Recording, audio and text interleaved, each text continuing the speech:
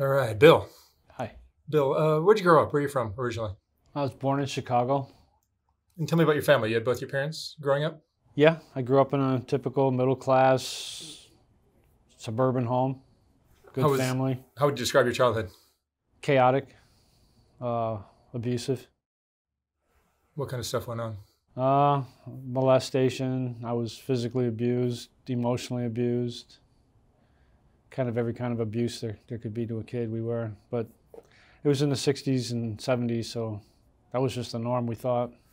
This was from who? My parents, Your parents? yes. Both parents? Uh, my father was the physical and the emotional abuser. My mother sexually abused us, and my we had there was a babysitter that would sexually abuse us. So there were other siblings that Yes. went through this. And what kind of kid were you in high school? Uh, kind of a loner, trouble, always in trouble, always just trying to get out of everything. And how did this uh, affect your life as you as you got older? Well, I never really picked up on any of the social skills I needed to to be like a functioning member of society type thing. And as a result, I grew up an old man that's still a loner, still don't really like a lot with society, don't really trust a lot of people. Have you ever been uh, married or Yeah, I was married once. do you have kids? Yes. I have uh, two sons that I never get to see, and I have a daughter and a stepdaughter that I, I'm a very active part in their life. And what what kind of effects does this have on your life now today? How old, how old are you today? I'm 60, well, 58. And uh, how how has this childhood trauma affected you now? Um, I've had a lot of treatment, so I've gotten to work through a lot of it. Um, I've, Does that help? oh yeah, absolutely. Um, What, I, so therapy? when I was uh, after prison, they sent me to another special prison for sex offenders for what they termed long-term, indefinite control, care, and treatment. And I did about eight years, eight and a half years of really intensive treatment there, How often would that happen? Like weekly, uh, daily, daily? probably six, eight hours a day, four or five days a week. Really? Yeah, I was. I mean, it was an in-house. It was a prison. Yeah. It was a prison that they sent us to, and you either went through their treatment program or you stayed there And forever. what, what kind of things would you work on? Um, everything. I mean, everything's related to your sexual offending. So it was from childhood all the way up to the present day, and you know the things that you you've you've experienced, and the way that shapes your thinking, and the way you make your decisions, and your problem-solving skills, and your conflict resolution skills. You're just starting to work on all of that. You work on your arousal management. Um, mostly, it's getting into all the things that that contributed to bringing you to a point where you committed a sexual crime all the, the thinking errors and the emotional inabilities and and the, just everything that was just wrong about the way you handled things. Um, it was it was pretty intense. I mean, I never wanted to be there, but I'm I'm absolutely glad I, I was there and I I got everything that I could from there. And do you feel like you're a, sa- uh, a better, safer member of society now? Absolutely. Yeah. Absolutely. I've been out uh, 12 years now. I got arrested once for uh, I didn't register properly, but the registration laws can be so confusing sometimes. So I got a registration violation for not uh, not registering a temporary address correctly. So they gave me five years of probation for that. I got lucky. I didn't have to go back to prison because if I'd have gone back to prison, I probably would have had to go back to the center. But does the, the, the temptation exist still? No, I've learned how to deal with all that. I've learned I've learned what voids I was trying to fill, what needs I was trying to satisfy. Um, the sad thing is, is, is, is as a human being, we're so sex, you know, our, our sexuality is so hardwired into who and what we are that to try to deal with, you, you, you end up developing some, I mean, I don't want to put a light coat on it, but you end up developing what we call an appetite, a desire. And some of those desires may never go away, but you just have to learn how to rearrange your life, relive your life so that you're not putting yourself in situations where there are temptations. You know, I, I haven't thought about molesting a child. I haven't indulged in any of the, the deviant fantasies that I, I've had prior. um, because I've learned how to address me, how to carry me, how to move myself forward instead of living in the now. I learned how to look forward a little bit and, and not set myself up where there could be a problem. It's like any other addiction. A sexual addiction is, is like any other addiction. And you, you just, you got to learn what it is that you were trying to fill, what void it is, what pain you were trying to cover, or what, what thought, whatever it was you thought you were missing, or whatever shortcomings you thought you had to overcome. You had to learn to, to live your life in such a way that those decisions don't come back up. So. May I ask what kind of offenses you had? I have, my first offense was in 1990. That was for a attempted capital sexual battery, which is just a legal term for I touched a less than 12 year old or a, a, girl that was under the age of 12. And then in 1996, I got charged with a lewd and lascivious battery, which is letting a child under the age of 16 see my genitals. So those are my charges. And so therapy worked very well, it sounds like, for you. Absolutely. Um, when I went into therapy, I was absolutely a, a, a psychopath.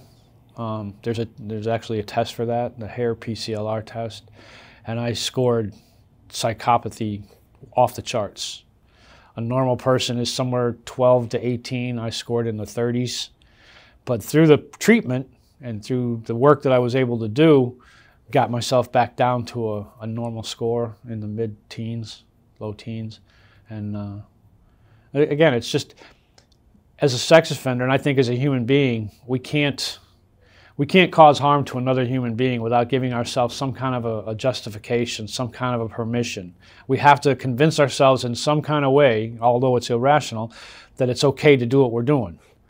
And as a result of that, you lose what they call empathy. You, you, you're not able to emotionally connect with other people and that's what allows you to, to, to, harm another human being. Well, learning how to reconnect with people at an emotional level was, it was a long and hard trip. It took a lot of work, and it was not, I can't say that any step of it was pleasant, but the end result was that, you know, I'm one of the fortunate ones that got to get plugged back into the human human society. Yeah. Are you ha- are you happier now?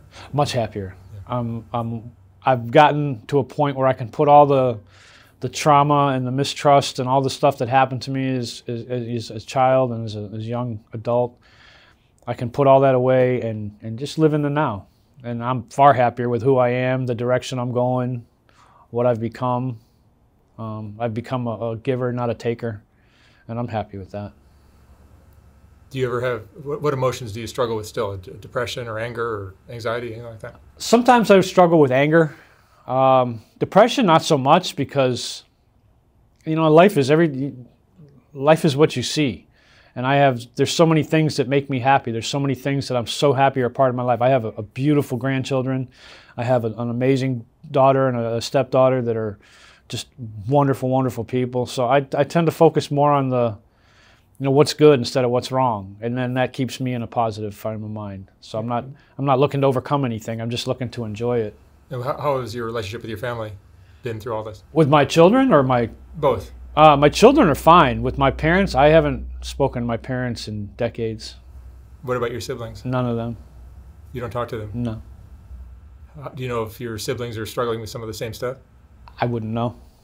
I have. I mean, I was pretty young when I was kicked out of the house, and I've never turned back, and I, I don't have any interest in it. Um, it's I don't want to go back to a, a, a, situation where, you know, through all the treatment I went through, I've, I've learned to see not just my shortcomings, but things that contributed to it. And, you know, a lot of it falls into the way I was raised and, and the, the, the, the atmosphere I was raised in. And I just have no desire to go back to it at all. It, sounds like you take a lot of the responsibility for, for what you did. I made my decisions. Nobody, uh, you know, I, I'm not one of these ones that likes to say, "Oh, my mommy took my net, my pacifier away too early, so I turned out all screwed up." No, that I did what I did. I made the decision. I created the problems. I committed the actions. I did all that. That was me. Nobody did that. It's nobody else's fault. It's my fault.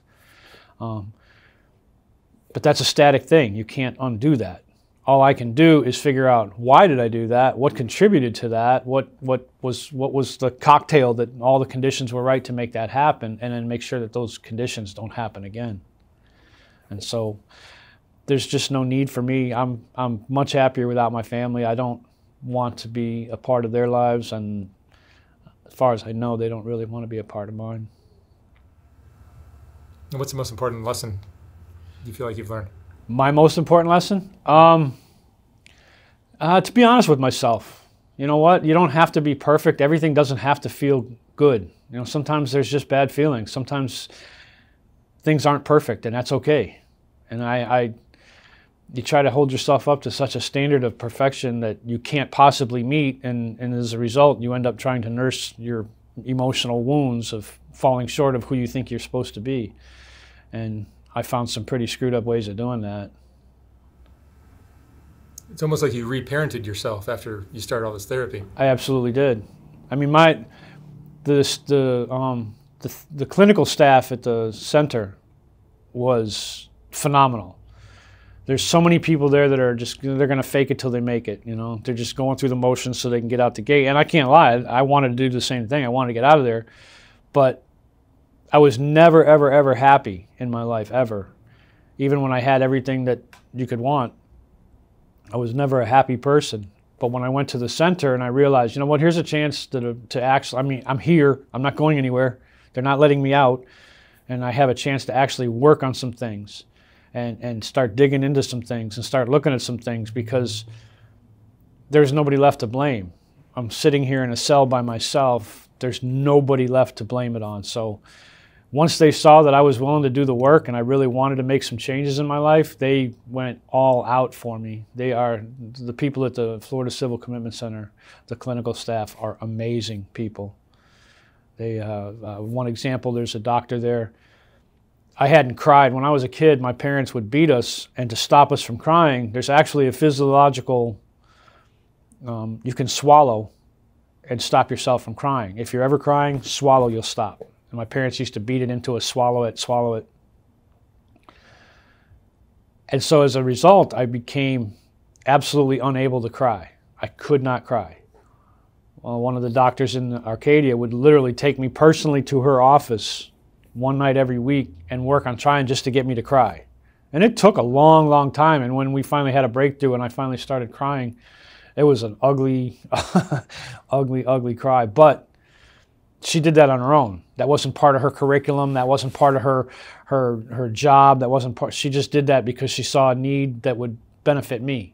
A, you know, a way to express myself, a way to release my emotions, a way to to to handle that without having to stuff it all in because you nothing's big enough to handle it all of it. It's if you keep stuffing things in, eventually it's going to blow up. Would you consider yourself one of the very few that's that's broken out of this uh, behavior? Yeah, absolutely. It doesn't. It's not very common, I assume. Um, not from a psychopathy, no. Um, the sexual desires, it's it's like any other addiction. It's you know you there's a lot of people that can that have overcome it that don't want to be sex offenders. I never met one sex offender, and I've been doing this for 30 years. I never met one sex offender that wanted to be a sex offender.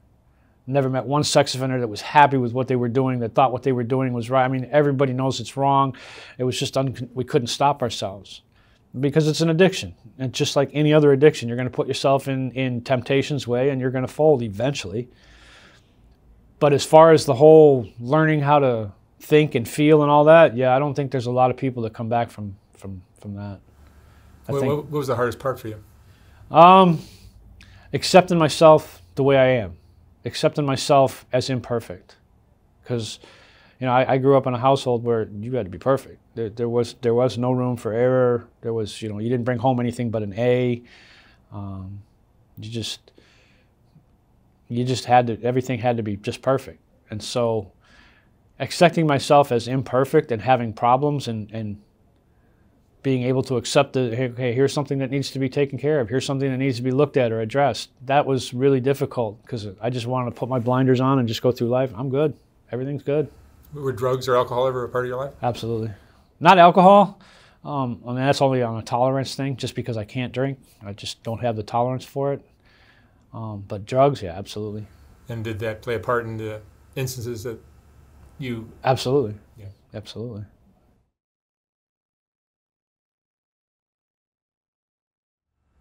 And what's what's what, what advice can you give to anyone else who's struggling with something, thoughts like this, or desires like this? I would say talk to somebody. Understand that um, it doesn't have to be the way it is. You can talk to somebody and you can figure out there's something behind what you're what you're feeling. There's something behind what you're desiring, and um, you're not going to find it acting out on those desires. That's just a, a, There's, a, there's another level to it. yeah. It's just it's just a band aid that you're going to put on it. Behind it all, there's something that you're missing. There's something that you need, and talk to somebody that can help you find out what that is. I think a lot of a huge part of the whole sex offending cycle is the secrecy.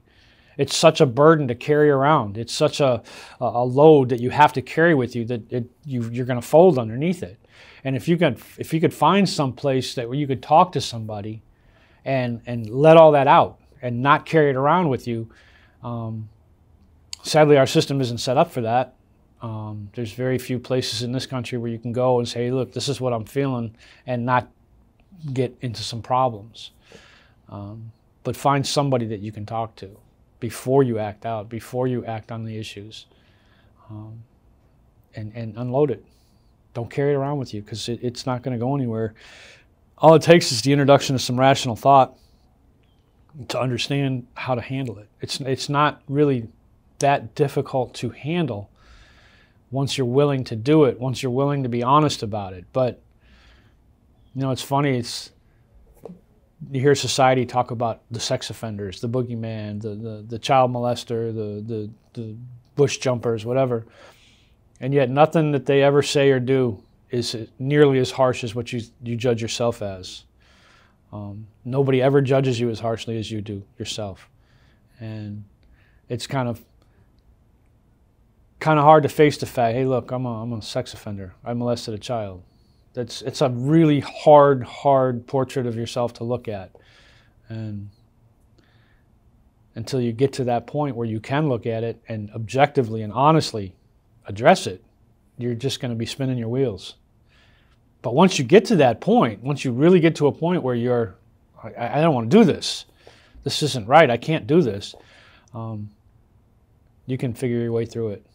But you got to get to that point. Excellent. Well, Bill, thank you so much for talking with me. My pleasure. I'm happy. I'm happy for you. 30 years.